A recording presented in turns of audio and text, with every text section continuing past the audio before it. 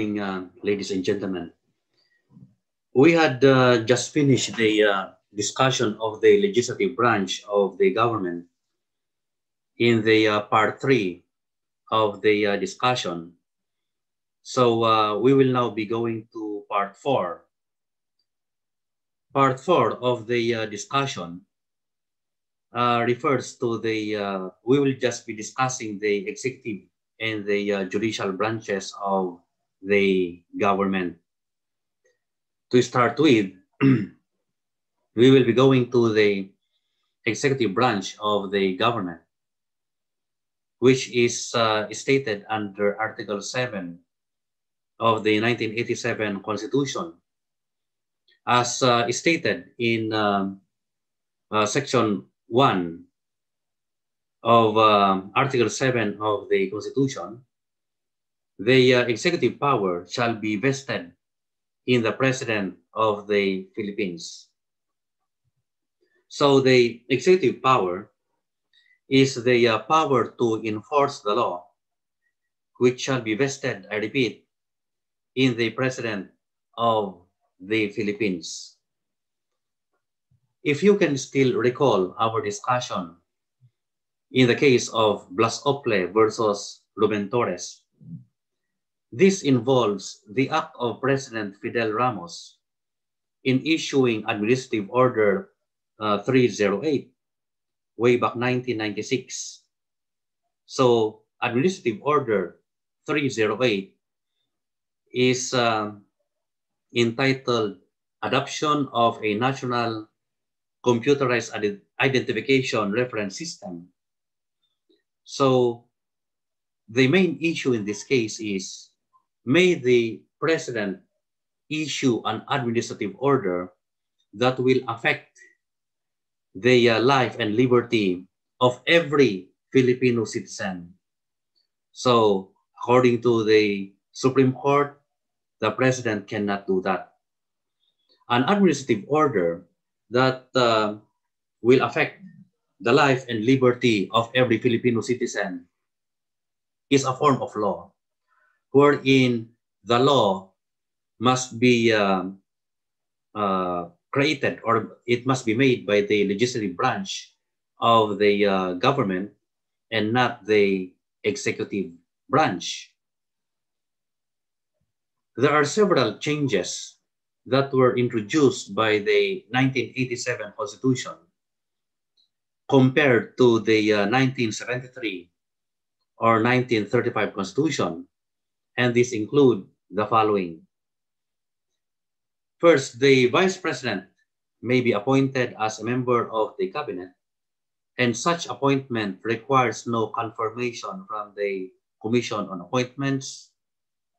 Second is uh, the rule on succession, if who will become the uh, uh, president in case of his disqualification or inability.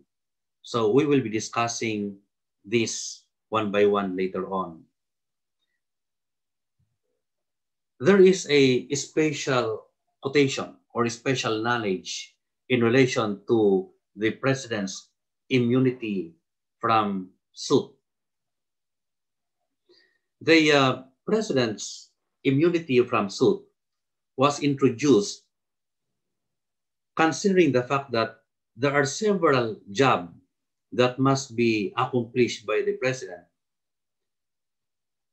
his attention must be undivided.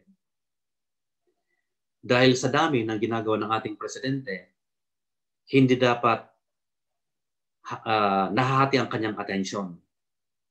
Because if we will be allowing the president to be sued, then our president will be doing his job as a president At the same time, he is facing the charges that is being filed against him or her. Comes now the case of uh, Sullivan versus Makashar. uh, what happened in this case? President Corazon Aquino uh, sued Luis Beltran. Manu, uh, si Luis Beltran ay manunulat ng uh, uh, star.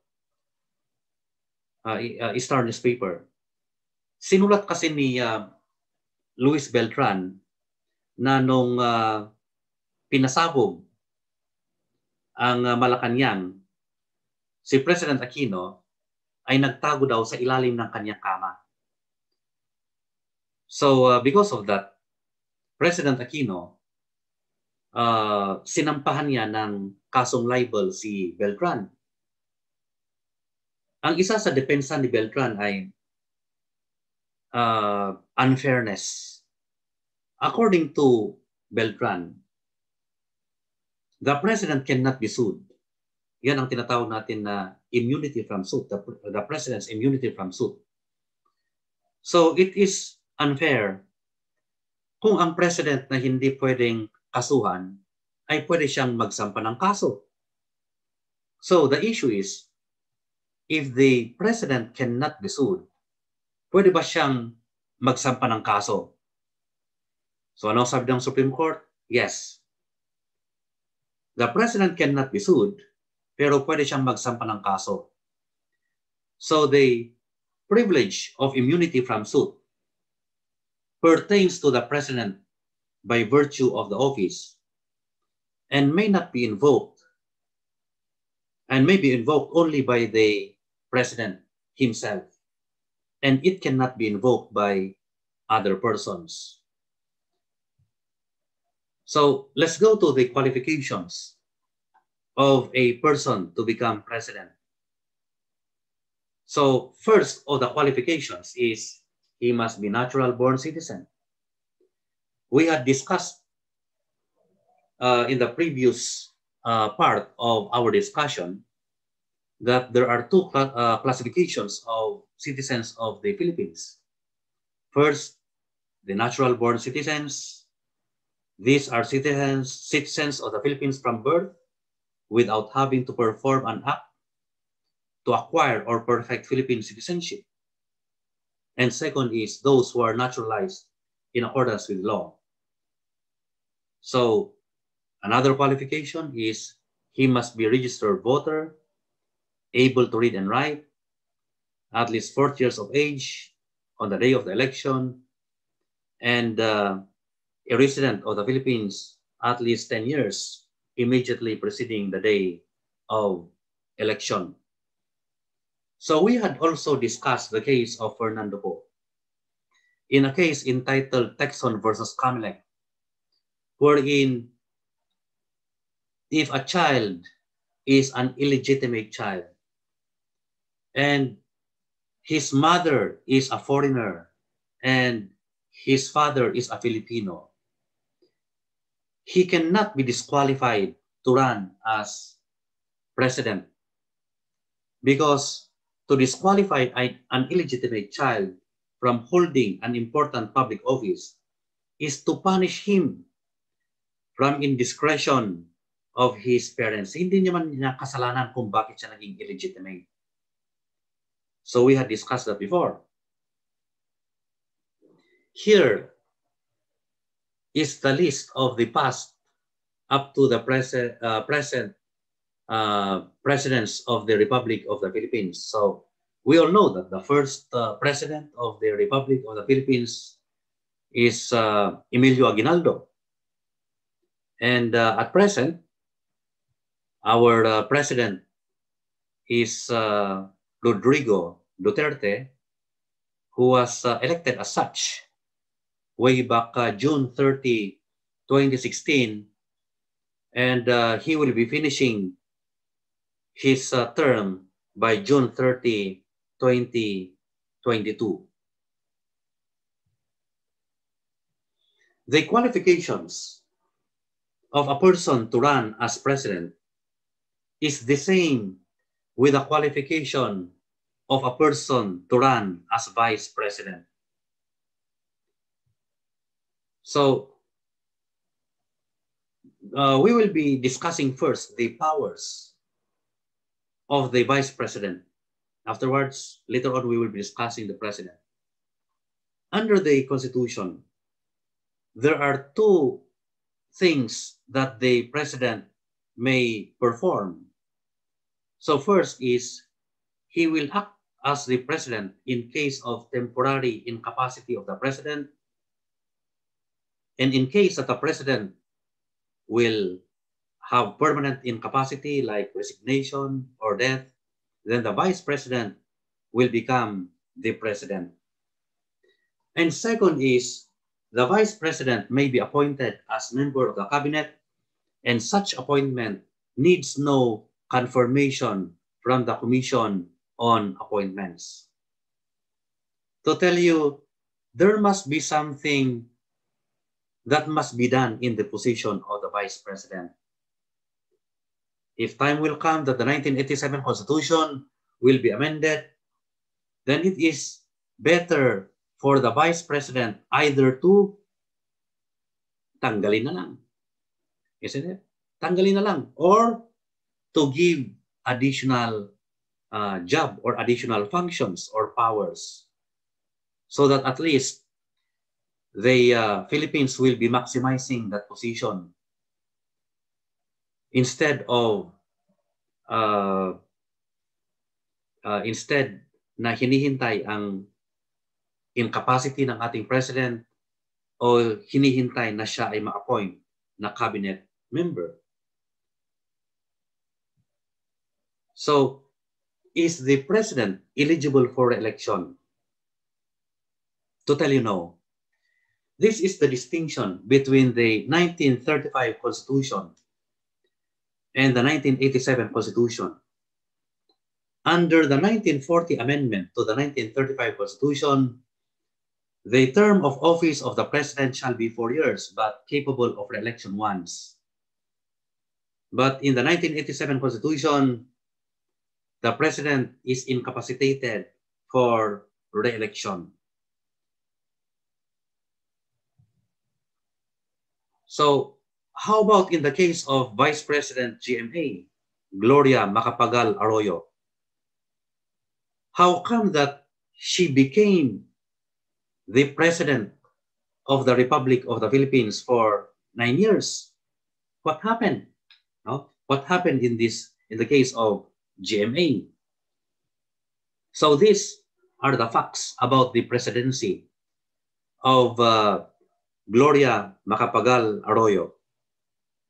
GMA was elected as a vice president and uh, Estrada as the president way back 1998. And both of them will be finishing their term by 2004. Things became complicated, however, on the part of President Estrada because he resigned. Okay, I repeat, uh, according to the Supreme Court, Estrada resigned on uh, January 20, 2001.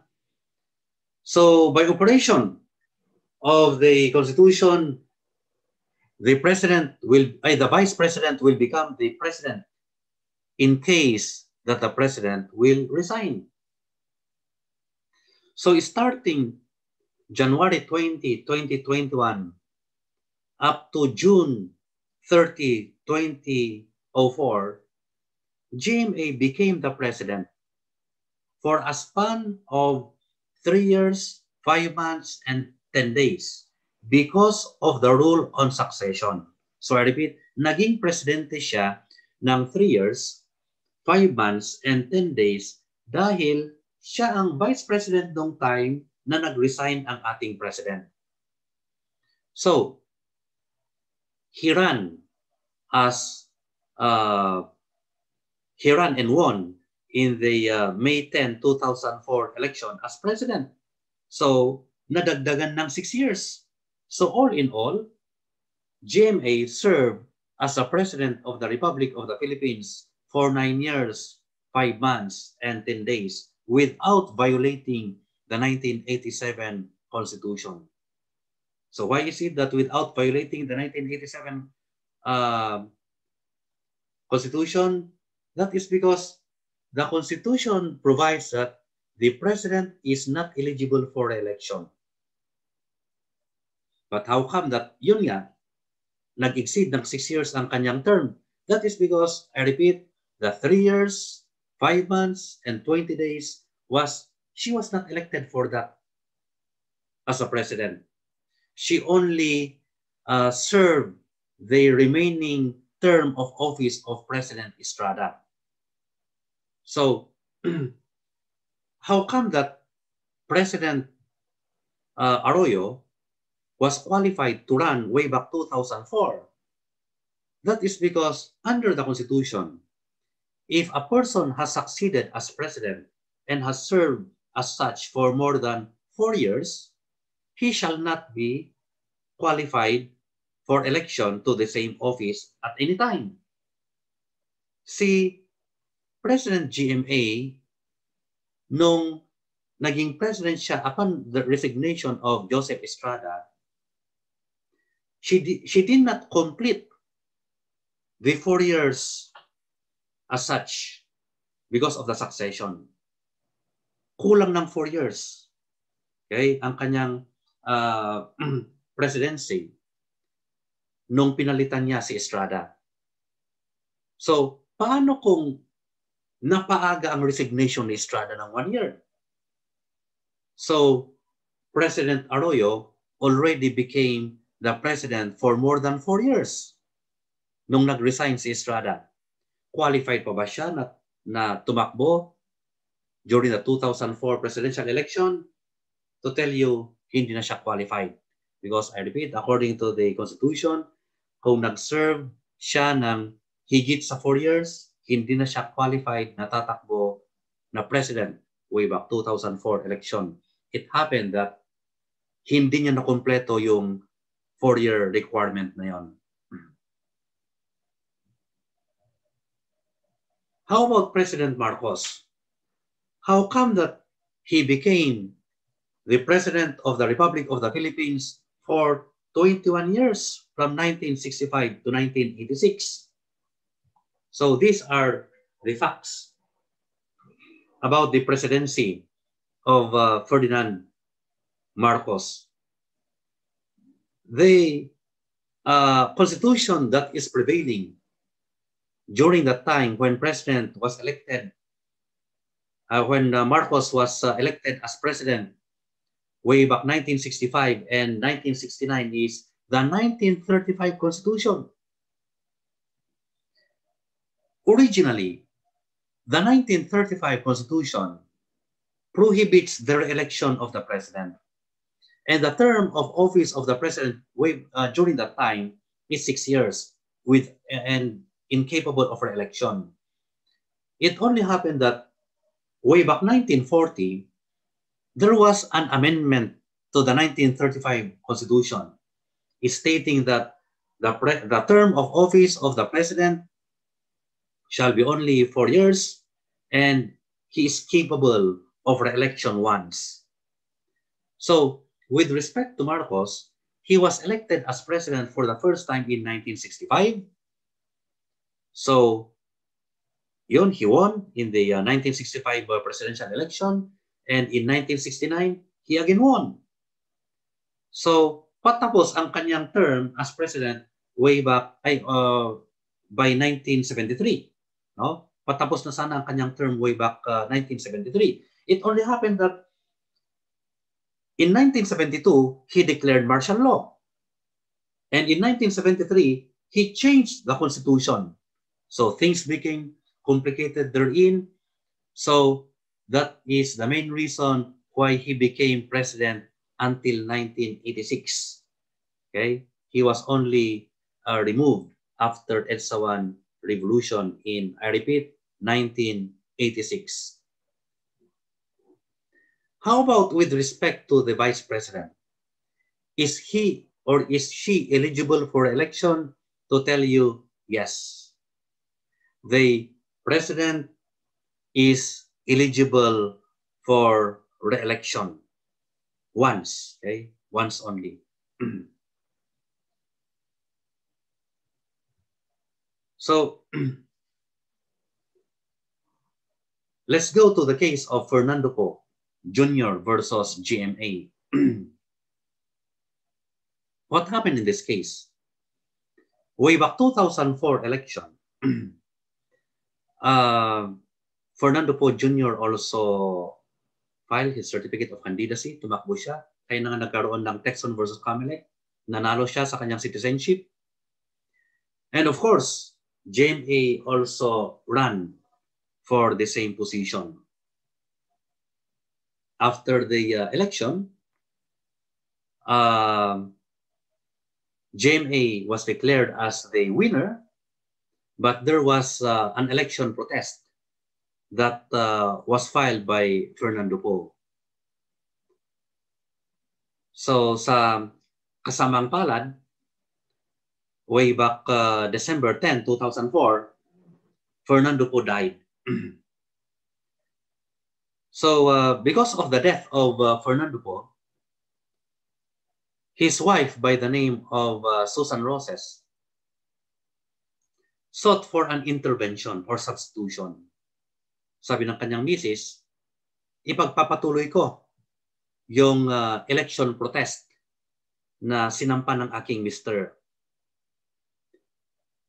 So uh, the issue here is, pwede bang palitan ni Susan Roses ang uh, elect, uh, ang kanyang mister sa election protest na final ni Fernando po pagkatapos na nung namatay si Fernando po no so the Supreme Court said No. This is because in the rule on the uh, uh, Presidential Electoral Tribunal, only the registered candidate for president or vice president of the Philippines who received the second and third highest number of votes may contest the election of the president and uh, vice president the rules on the Presidential Electoral Tribunal does not provide for any uh, substitution or intervention. Okay, so in other words, nung namatay si uh, Fernando po na nag-file ng uh, ng uh, protest ay uh, pati ang kanyang protest ay namatay din. Okay? No one can substitute can substitute on his behalf already. So we will be going to the rules that must be considered in filling up the vacancy of the position of the president. So these are the rules. If the president-elect fails to qualify, the president-elect shall act as a president until such time that the president-elect shall be qualified. Next, if the president shall not have been chosen, the vice president-elect shall act as the uh, president until such time that the president shall have been chosen and qualified. If at the beginning of the term of the president, the president-elect shall have died or shall have become permanently disabled, then the president-elect shall become the president. Where no president and vice president shall have been chosen or shall have qualified, or where both shall have died or become permanently disabled, then the president of the Senate, or in case of the inability of the president of the Senate, the speaker of the House shall act as a president until a president or vice president shall have been chosen and qualified. So, in other words, there is a rule on succession that we must consider here. Kung wala ang president, then the president will act as a president. Kung wala yung dalawa, then it is the uh, it is the uh, Senate president. Kung wala yung tatlo, then it is a speaker of the house. Uh, kung wala yung apat, then it will be the Congress who will decide. Paano kung pati ang Congress wala din? So, uh, surely it will uh, create a constitutional crisis. That is because the Constitution does not provide for a remedy for such instance. The case of uh, Estrada versus Desierto is a very unique case because there are several complicated things that happen here wherein ibang alam ng mga tao, ibang dineclare ng Supreme Court, so on and so forth. During the time of Estrada, nagkaroon tayo ng EDSA 2 revolution wherein uh, there was an attempt to uh, unseat o tanggalin si uh, Estrada. So sabi ng iba, nagtagumpay yon kasi umalis si Estrada. But sabi naman ng Supreme Court, no, hindi umalis si Estrada. Si Estrada ay nag-resign. So, according to the actuations of Estrada during that time now, he is deemed to have resigned. No? And that is what we call the totality test if we will be combining all what he did during after, uh, immediately after the EDSA 2 revolution, sabi ng Supreme Court, nag-resign siya. But sabi ni Estrada, I'm only on leave. Okay? So, he is only on leave. So, pwede bang pagbigyan yung sinabi niya na he is only on leave? Okay, so after the uh, after the uh, uh, decision of the Supreme Court, the, uh, the Supreme Court decided that he resigned. He was not on leave. So you may ask, ano ba kasing nangyari doon? What happened during that case? it all started when uh, Chavit Singson, a long-time friend of uh, Estrada, ay bumaliktad bumaliktad kay Estrada. Sabi niya ay si Estrada daw ay uh, tumanggap ng milyon-milyon sa wetting operations. So because of that, there was uh, an impeachment case that uh, was instituted against Estrada. So uh, naging complicated yung impeach case, impeachment case kasi hindi natuloy yun. Uh, may uh, drama ng walkout So bakit nag-walk out ang mga prosecutor sa impeachment case? Dahil daw uh, hindi binuksan yung envelope na hinihingi nilang buksan. And that envelope ay naglalaman daw ng uh, kayamanan ni Estrada. So, uh, hindi natuloy yung impeachment case. So, instead na gumapang yung impeachment case ay yung gumapang ay yung EDSA 2 revolution.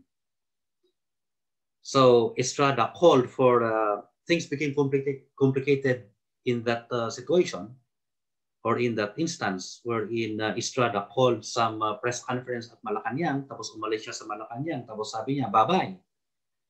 So according to the uh, Supreme Court considering the uh, things that happened at yung pinakita ni Estrada he is deemed to have resigned from the office. Let's go to the different powers of the uh, president of the uh, Philippines under the Constitution.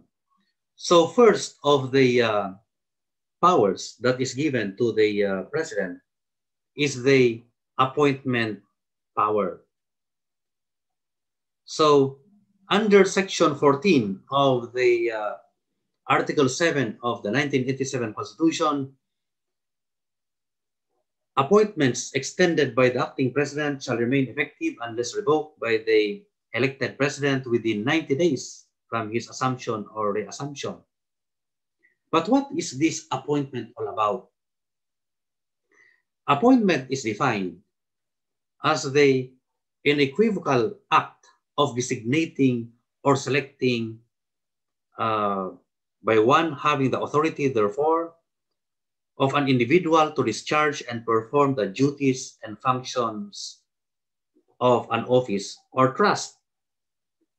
So, to explain this further, we will be going to the case of Flores versus Brillion. What happened in this case?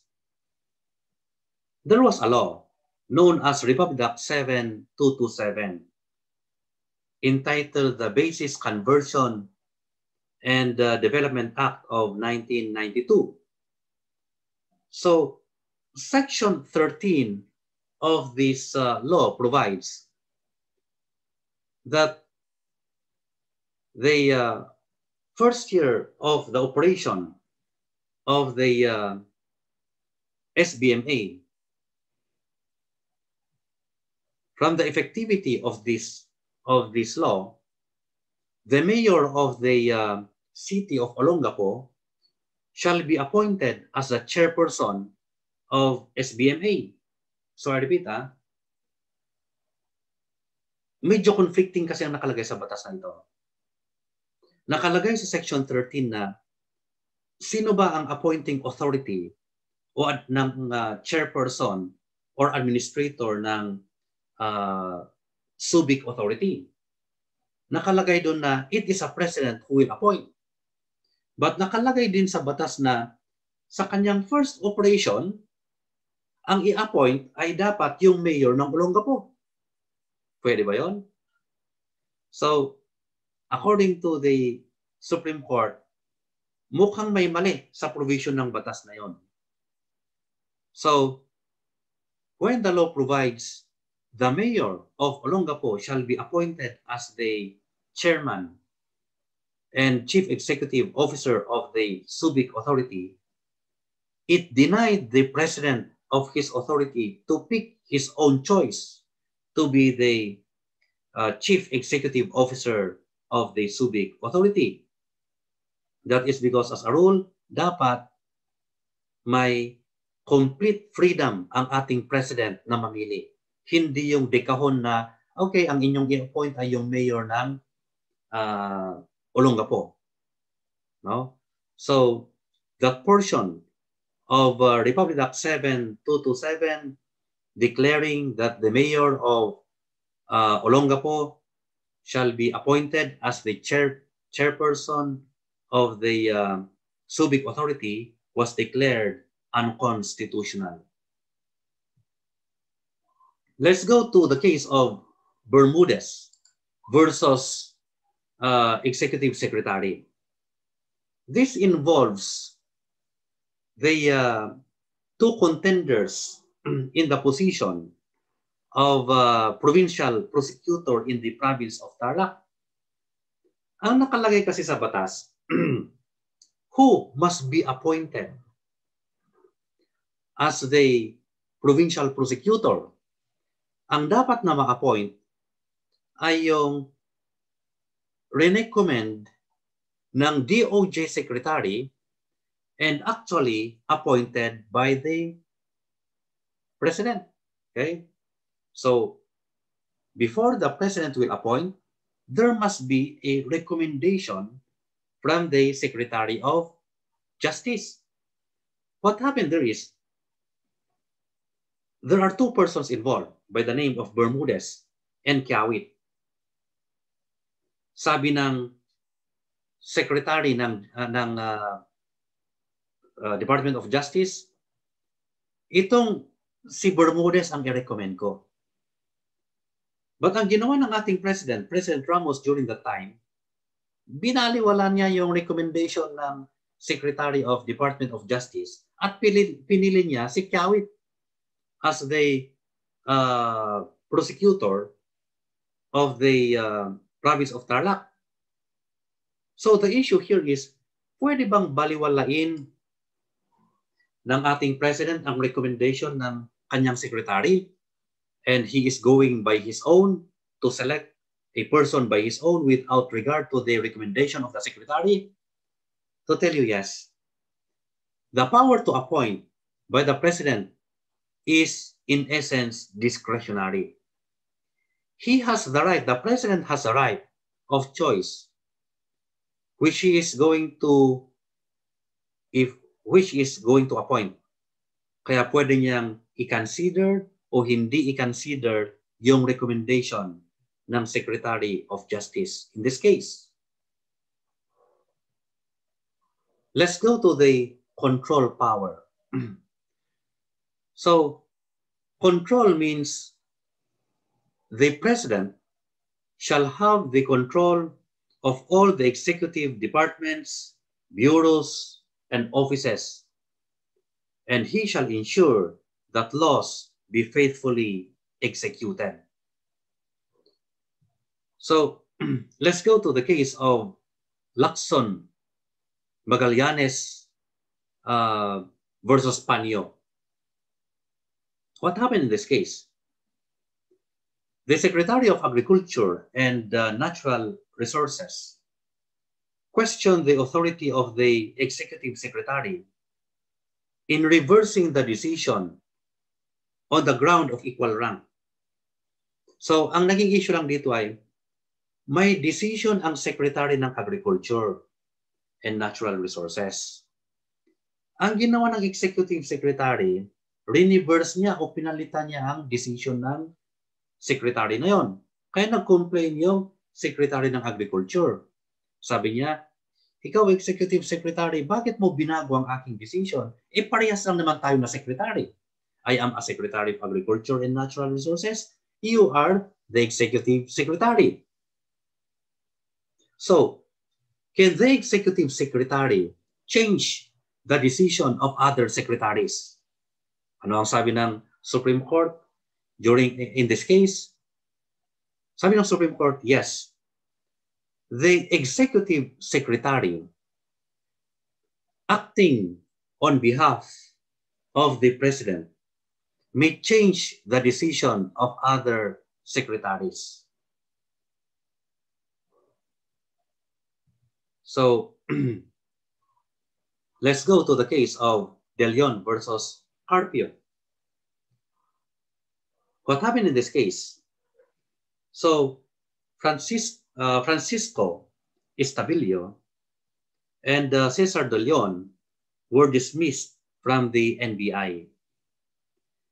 The Secretary of Justice Ordonez ordered, however, that these NBI employees will be uh, reinstated But ang director ng NBI, ayaw niya. So, I repeat that, there were two NBI uh, employees who were removed. Sabi ng uh, Secretary of Justice, ibalik nyo ang dalawang empleyado na yan. Pero sabi ng director ng NBI, ayaw ko.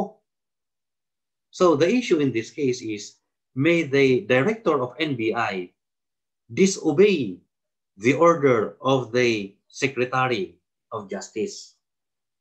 So anong sabi ng Supreme Court? No. The Director of National Bureau of Investigation may not disobey the order of the Secretary of Justice. Sa organizational structure kasi ng NBI, ang NBI ay hawak ng Department of Justice. No? Kaya kung ano ang decision ng Secretary of Justice, kailangan na respetuhin yan ng director ng NBI. Let's go to the military power. so, the president is the commander-in-chief of all armed forces of the Philippines.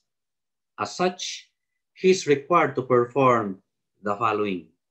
So first, to call out uh, such armed forces to prevent or suppress lawless violence, invasion, or rebellion. Second is uh, to suspend the uh, privilege of the writ of habeas corpus and to place the Philippines or any part thereof under martial law. So, what happened in the case of Lacson versus Perez? On uh, May 1, 2001, President JMA issued proclamation, proclamation number uh, 38 declaring that uh, there is a state of rebellion in the uh, National Capital Region. Said proclamation was issued when an angry and violent mob uh, armed with explosives ay uh, sinugod ang Malacanang. So some claim that it is it's a three revolution nung sinugod ang Malacanang during the time of uh, GMA. So the president also issued General Order number one directing the AFP and PNP to suppress rebellion in the uh, national capital region. So uh, warrantless arrest and several uh, of uh, several leaders of uh, the rallies were conducted. Yung pag-issue ni President GMA ng Proclamation number 38 and General Order number 1 was questioned. Okay? So, tama ba ang pag-issue ng Proclamation number 38 and General Order number 1 na ito? So, according to the uh, Supreme Court, the rallies or the petitioners were not correct. Ang president daw ng, ng Pilipinas, as the commander-in-chief, has the intelligence network. May kakayahan siya na mag-gather ng kung ano-anong information that are classified as high confidential and others that may affect the state. So, because of this, the president, when it becomes necessary, may call out the armed forces to prevent or suppress any lawless violence, invasion, or rebellion. So let's go to the pardoning power. this is the most uh, discussed with respect to the criminology parlance, this pardoning power of the president. So it is known as a pardoning power but there are several prerogatives that are enumerated here. It is the power of the president to grant reprieves, commutation, and pardons, and pardon, uh, remit fines and forfeitures, and even he may grant amnesty with concurrence of Congress. So this is the pardoning power of the president. So I repeat, what are included? It includes pardon, amnesty, reprieve, suspension of sentence, commutation, and remission of fines and forfeitures. So let's go to the case of Torres versus Gonzalez. So what happened in this case is there was a person who was given uh, pardon by the president. Sabi ng uh, president, okay, bibigyan kita ng pardon with one condition, with one condition. Na huwag na huwag kang gagawa ng krimen uli. Or else I am going to cancel the pardon that is given to you. So in other words, it is a conditional pardon. And I repeat, the condition is for him not to commit crime again. So, nung napalaya ang tao na yan, because of pardon, nasampahan siya ng kaso afterwards. No? Nung nalaman ng Office of the President na nasampahan siya ng kaso, binawi yung pardon that was previously given. So, ang palusot ng tao ito ay Office of the President. Bakit ninyo binawi yung pardon na binigay niyo sa akin?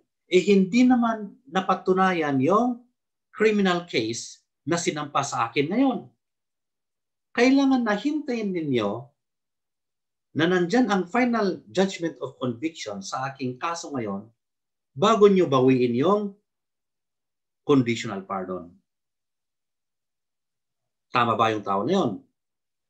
So according to the Supreme Court, mali.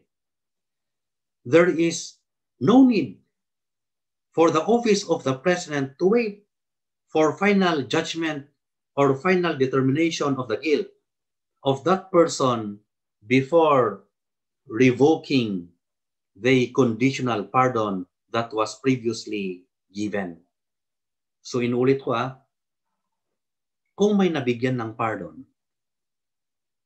at ang condition ng pardon na yan ay hindi siya gagawa ng krimen ulit, afterwards ay nakasuhan siya ng crime, kailangan bang hintayin ng Office of the President na makonvict siya sa crime na yon bago uh, bawiin yung conditional pardon? According to the Supreme Court, in the case entitled Torres versus Gonzales, hindi kailangang hintayin ang judgment of conviction. Kung sa tingin ng Office of the President ay na-violate yung condition ng pardon, then that pardon ay pwedeng bawiin o pwedeng i-revoke. so comes now the Tarlac case entitled Llamas versus Orbos. What happened in this case is my governor during the time of President uh, Corazon Aquino, there was a uh, governor of uh, Tarlac who was charged with uh, violating Republic Act 3019, also known as the Anti-Graft and Corrupt Practices Act. Why?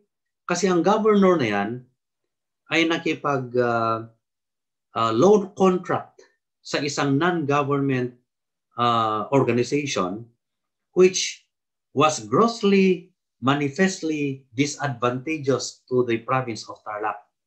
Ibig sabihin, yung governor nakipag-loan contract sa isang uh, uh, non-government organization, tapos nalugi masyado ang province of Tarlac because of that.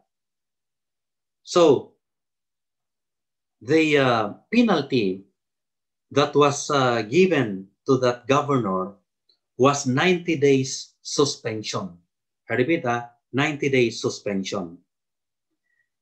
During the suspension, uh, during the suspension, the governor was able to convince the President of the Philippines na hindi siya nakinabang sa loan transaction na yon.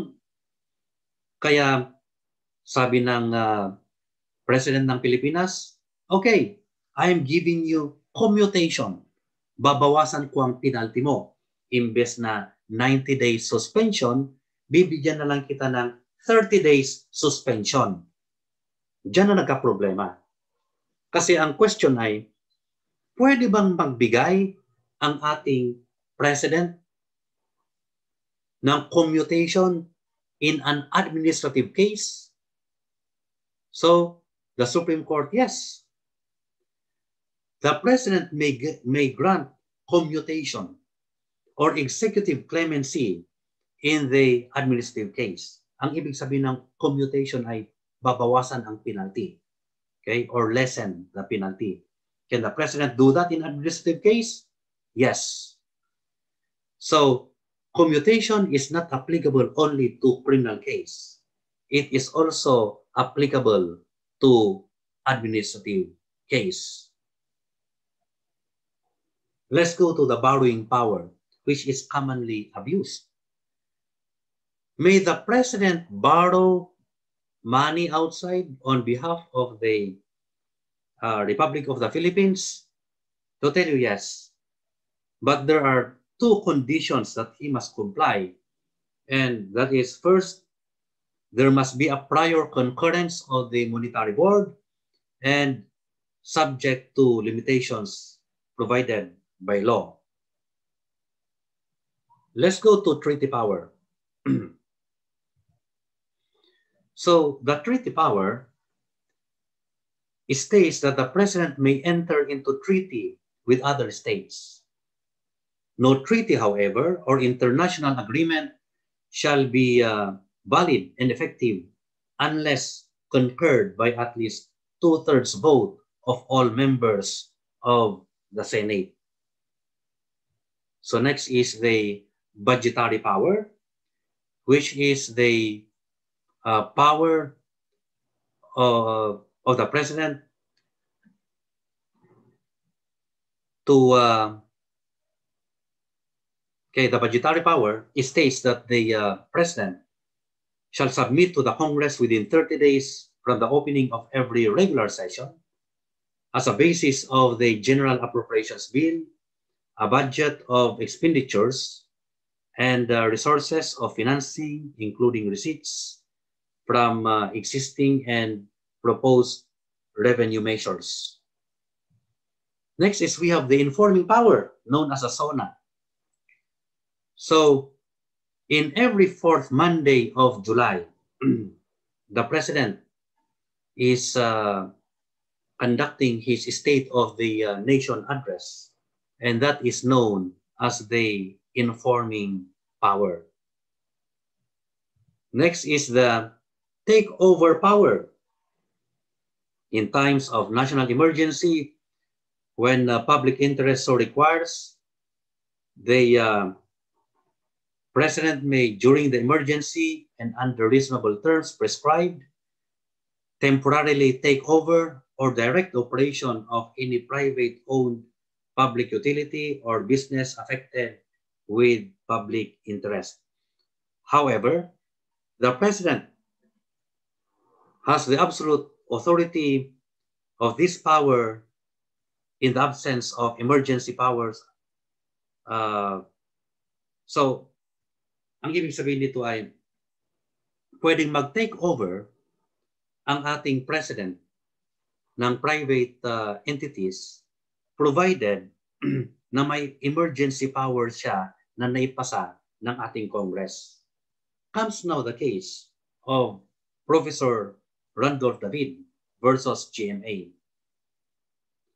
Uh, si GMA, nung uh, 20th uh, anniversary celebration ng uh, EDSA People Revolution Part 1, nag-issue siya ng isang proclamation. That is uh, proclamation number uh, 1017 declaring that there is a state of emergency. So, nakalagay na nandyan ang state of emergency, kaya pwede ko nang i-take over ang ibang businesses affected with national interest dahil sa emergency na ito. Pwede ba yon? Pwede bang sasabihin ng ating president na ito ang state of emergency, kaya pwede ko nang i-take charge o i-take over ang mga uh, businesses na yan. According to the Supreme Court, no, the President cannot do that because like of what we have discussed, kailangan na, ang, kailangan na bago i-take over ang private institutions na yan o private businesses, dapat na may emergency power that was passed by Congress. Yan ang wala sa kaso na ito. There is no emergency power that was passed by the Congress authorizing the President to uh, take over those businesses. So let's go to the veto power. We have discussed this veto power when we have discussed the legislative branch of the government. Because how may a bill become a law? Isn't it that we have discussed that when the bill will reach the table of the president, there are uh, several things that may happen there. And one of the things that may happen there is the president may veto the bill. Ibabalik niya ang bill uh, sa uh, chamber ng Congress kung saan nanggaling ang, nanggaling ang bill na yon. And that is known as a veto power. Can the veto power of the president be overridden by the chamber of the uh, Congress where that bill originate? So to tell you, yes, pwedeng, ma-over, pwedeng matalo ang veto power na ito by the two-thirds vote of the chamber where the uh, bill originated. No? And let's go to the residual power. So the 11th function or the 11th power of the president is the residual power, which is the power of the president in balancing the general welfare and the and the common good against exercise of rights of certain individual. So, residual power ang tawag doon. To explain this residual power, we will be going to the case of Ferdinand Marcos et al. versus uh, Raul Manglapos. Alam natin lahat na after the EDSA 1 revolution, uh, former President Marcos and his family members went to Hawaii. so during that time, the uh, former President Marcos was still alive. He asked the Aquino administration na kung pwede lang ay babalik siya dito sa Pilipinas. But ayaw ng Aquino, admi Aquino administration na pabalikin si Marcos during that time. According to uh, President Aquino, in the interest of safety and for the tranquility of the state and order of society, they uh, remains of uh, Ferdinand uh, Marcos will not be allowed to brought here in the Philippines nung namatay na si, si uh, uh, Ferdinand Marcos. So, ibig sabihin, bago namatay si Marcos, hanggang siya ay namatay, gustong-gusto ng family ng Marcos na bumalik dito sa Pilipinas but ayaw ng uh, kasalukuyang president during that time by the name of uh, Aquino.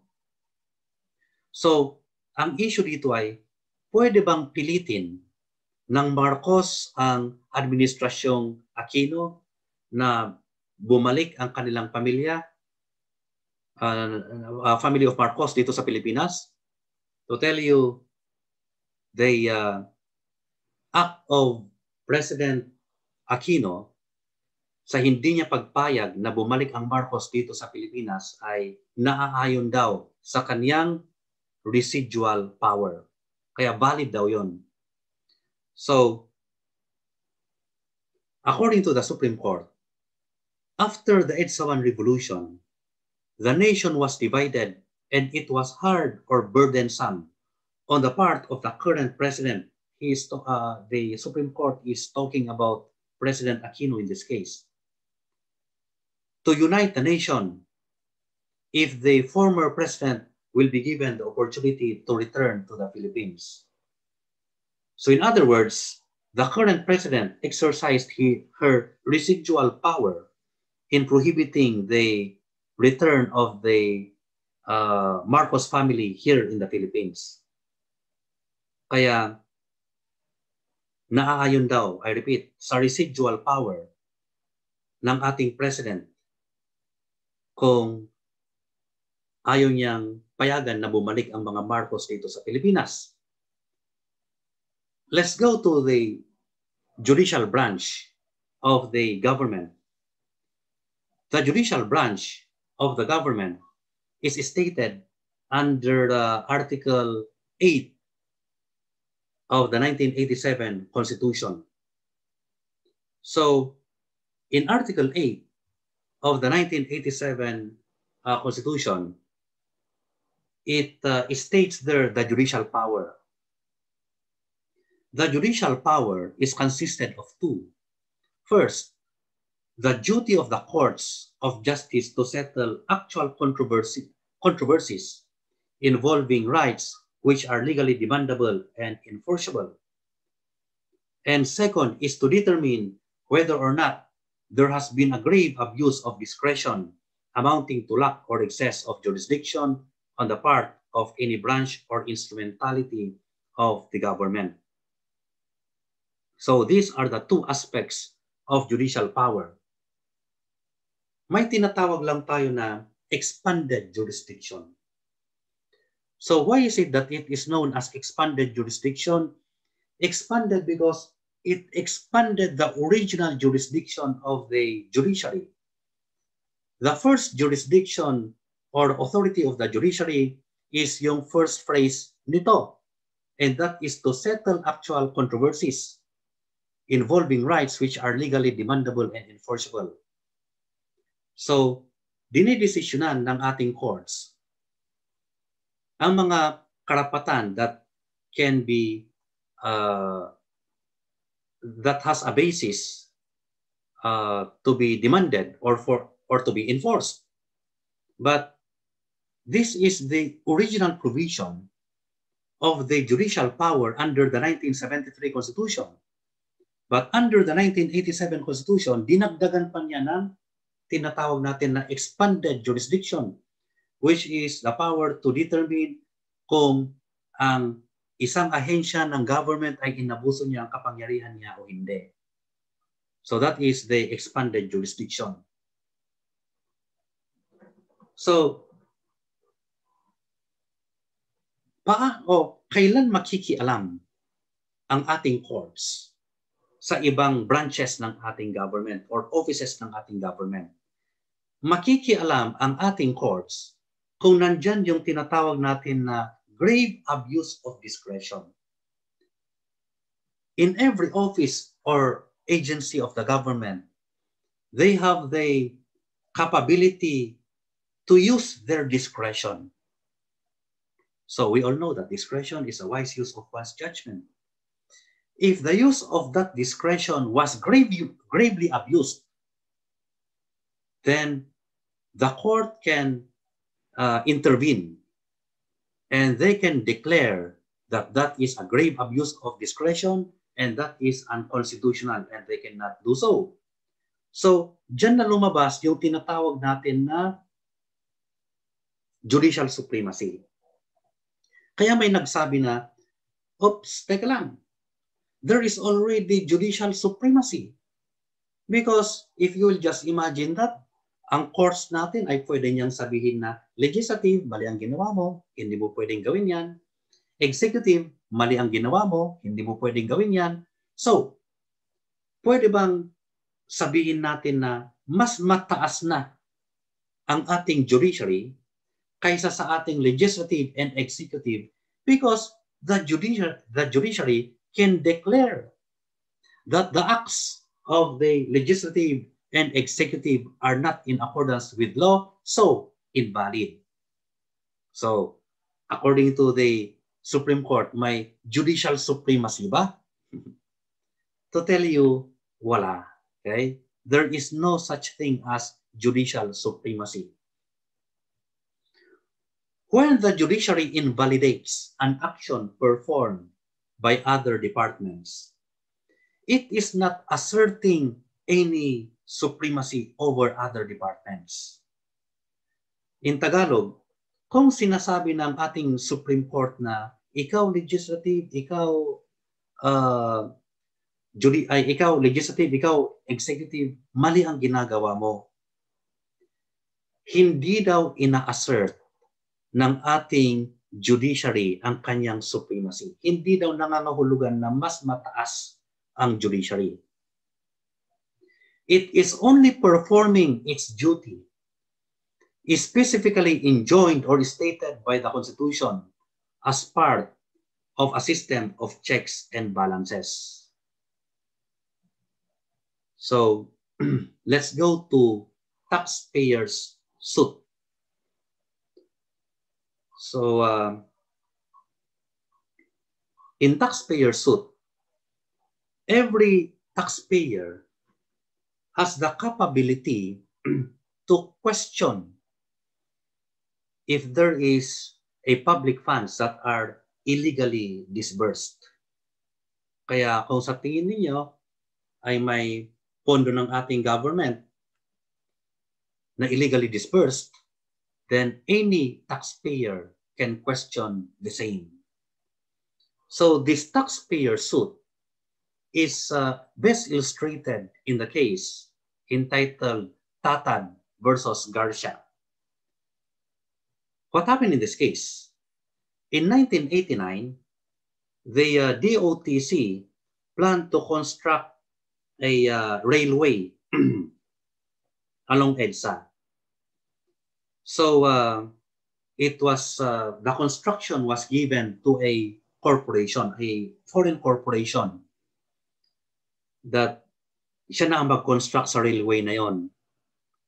But there are some senators by the name of Francisco Tatan, Osmeña, and Biason who questioned the constitutionality ng agreement na yon. So ang issue dyan ay, senators sila may capability ba sila na questionin yung construction ng railway project na yon na naibigay sa isang foreign corporation. So, according to the Supreme Court, yes, they have the capability to say to question that and that is known as taxpayers suit. So the prevailing doctrine in taxpayer suit is to allow taxpayers to question contracts entered into by the national government or government-owned or controlled corporations. So, aside from taxpayer suit, may tinatawag tayo na moot case. But to be complete, ang usual na tawag nila sa moot case na ito ay moot and academic case. Dito applicable yung kasabihan ng Pilipino na aanhin mo ang damo kung patay na ang kabayo. So in other words, a moot case is when a judgment thereon cannot have any practical legal effect or the nature of it cannot be enforced. Ibig sabihin,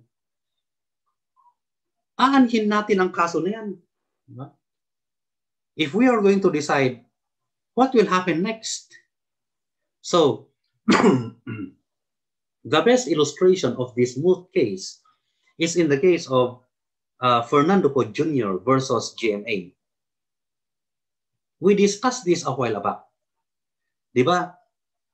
Si GMA at si Fernando Po, tumakbo sila with, uh, as presidents way back as president way back 2004. Nung uh, after the 2004 presidential election, na i-declare uh, na nanalo si GMA. Nag-protest ngayon si uh, nag-protest na ngayon si Fernando Po. Kaya may election protest that was filed under the Presidential Electoral Tribunal. So, uh, si Fernando po nung hindi pa natapos ang taon na 2004, namatay siya. Kaya si Susan Roses, gusto niya, siya na ang mag-substitute sa election protest na sinampa ng kanyang mister. Pwede ba yon? According to the uh, rules of uh, Presidential Electoral Tri Tribunal, only the second and third placer can question. Tapos walang nakalagay na rule on uh, substitution or intervention. So, tulad ng sabi ko kanina, nung namatay si Fernando po, pati ang kaniyang protest namatay din. Hindi pwedeng mag-substitute ang kaniyang misis. So that is a classic example of moot and academic case. Let's go to locus standi. locus standi is defined as the right of appearance in a court of justice in a given question. In private suit, uh, locus standi is governed by the real party in interest. So, bago ang isang tao ay mag-file ng kaso, siya ay dapat na real party in interest. Dapat na affected siya sa kaso na yun. Except, however, of what we have discussed in relation to taxpayer suit. No? Kasi ang taxpayer suit may, may allegedly na ginasto illegally ng ating government from taxes. So, any taxpayer can question it. But what if there is no tax that is involved? So, that case may be filed only by person if they have the locus standi or if they have the uh, if they are the real parties in interest in that case. So, to illustrate this locus standi, we will be discussing Pimentel versus House of Representatives Electoral Tribunal. If you record our discussion as to the composition of Electoral Tribunal before, di ba? The Electoral Tribunal is consisted of two we have the Senate Electoral Tribunal and we have the House of Representatives Electoral Tribunal. What is the composition? There must be three coming from these justices of the Supreme Court and there must be six Kung Senate Electoral Tribunal yan, six senators. Kung House of Representatives Electoral Tribunal, dapat na members ng House of Representatives. So, what happened there is, yung mga senators, okay, let's go to the Commission on Appointments. The composition of Commission on Appointments is the ex officio chairperson is the president of the Senate. And there must be 12 senators and 12 congressmen. Ang question ng mga senators dito, bakit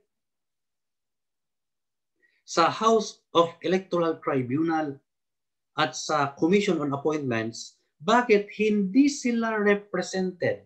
Ay bakit hindi represented ang mga party list? Bakit daw walang party list? So, ang nag-question doon, I repeat, mga senators. Can the senators question that? Bakit walang party list representation sa Electoral Tribunal at Commission on Appointments? O ano ang sabi ng Supreme Court? Walang legal personality ang mga ang mga uh, senators na questionin yun because in the first place they are not affected. No? So they are not affected.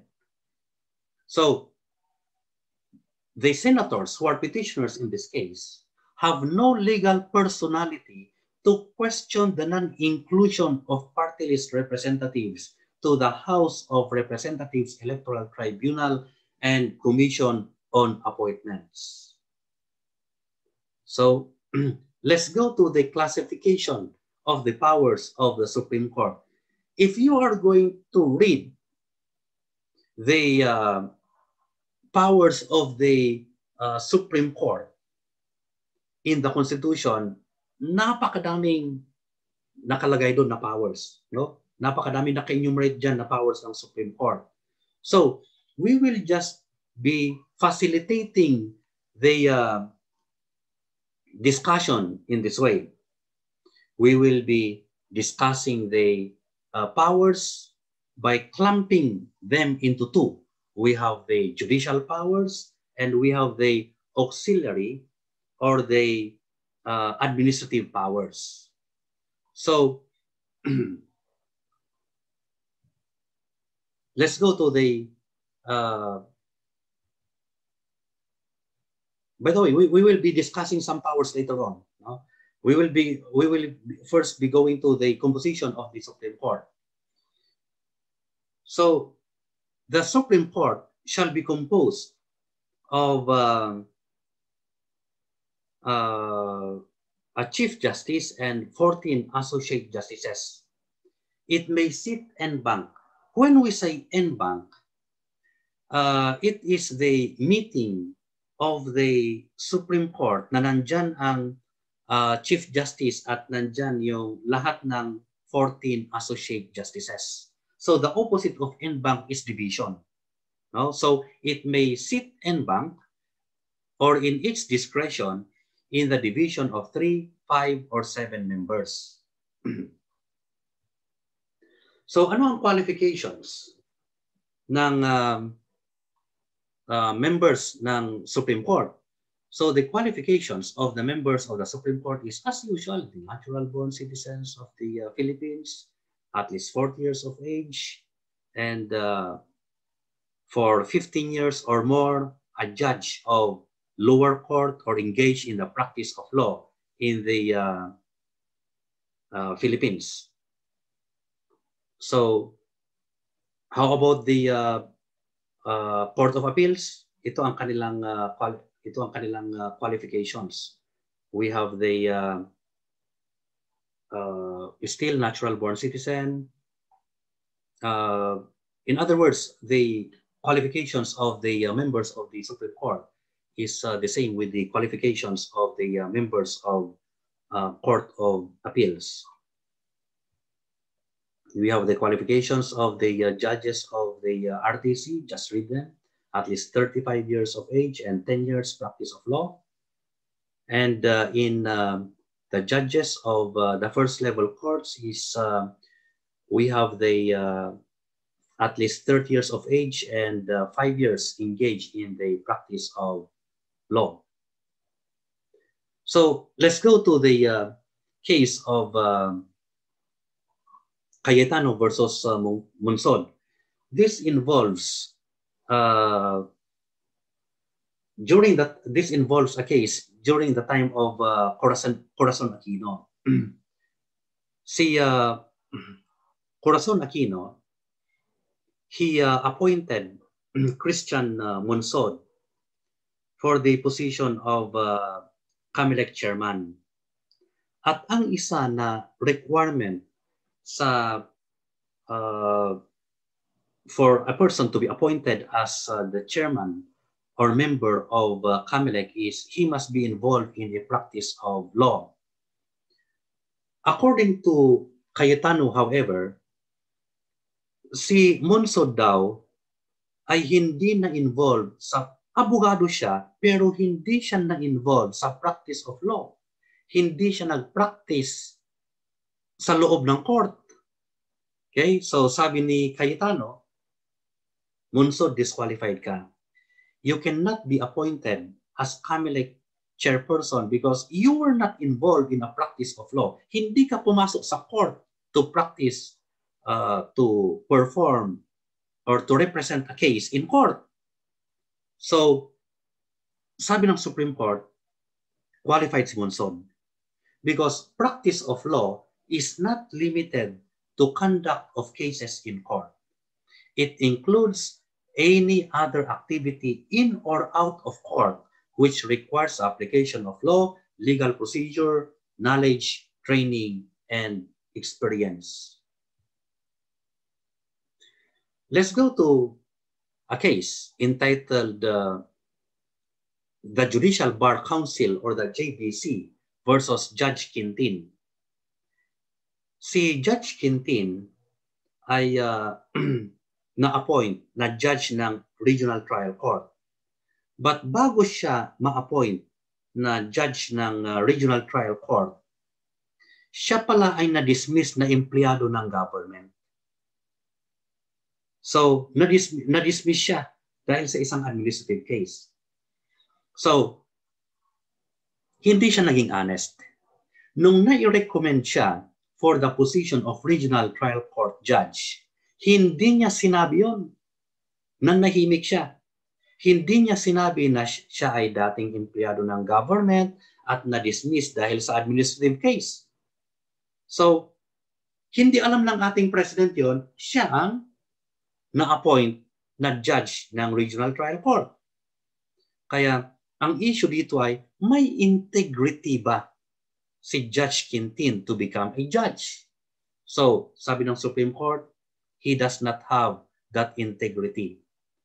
A judge who did not disclose that he was previously charged and dismissed from the service for grave misconduct does not possess the requirement of integrity as a member of the judiciary. So let's go to the judicial, judicial and bar council. this is the composition of the judicial and bar council. It has a chairman and the chairperson of the JBC, the Judicial and Bar Council, is the uh, Chief Justice of the Supreme Court. So he's is ex officio, He's automatic chairperson of the Judicial and Bar Council. At yung ex officio members ay Secretary of Justice and a representative of Congress. So dalawa ang ex officio members ng Judicial and Bar Council. We have the Secretary of Justice and the uh, representative from Congress. And we have the regular members. Uh, who are they? Representative of the Integrated Bar of the Philippines, a professor of law, a retired member of the Supreme Court, and a representative of the uh, private sector. So they are the regular members. And the secretary of the Judicial and Bar Council is, a, is the clerk of the Supreme Court. So the clerk of the Supreme Court is ex officio secretary of the Judicial and Bar Council, and he shall keep a record of proceedings of the council. ano ang functions ng Judicial and Bar Council na ito? So, first of the functions is um, to recommend appointees to the judiciary. So, from judges up to the uh, up to the members of the Supreme Court, sila ang nagre-recommend. So, the members of the Supreme Court and judges of the lower courts shall be appointed by the President from a list of three nominees prepared by the Judicial and Bar Council for every vacancy. And there's no need for their confirmation. Ibig sabihin, hindi naka, hindi kina-confirm ng Commission on Appointments ang appointments ng judges and members ng Supreme Court. So, the President shall issue the uh, appointments within 90 days from the submission of the list. So, second function of the uh, Judicial and Bar Council is uh, to exercise other functions and duties that may be assigned by the Supreme Court in it. Okay, so that's all. This uh, this will form part of the uh, part four of our uh, discussion, and um, it will be immediately uploaded. And uh, please uh, study it uh, together with your books if you have your books, and we will be scheduling a recitation. Okay, perhaps this week or next week. Okay, thank you, thank you.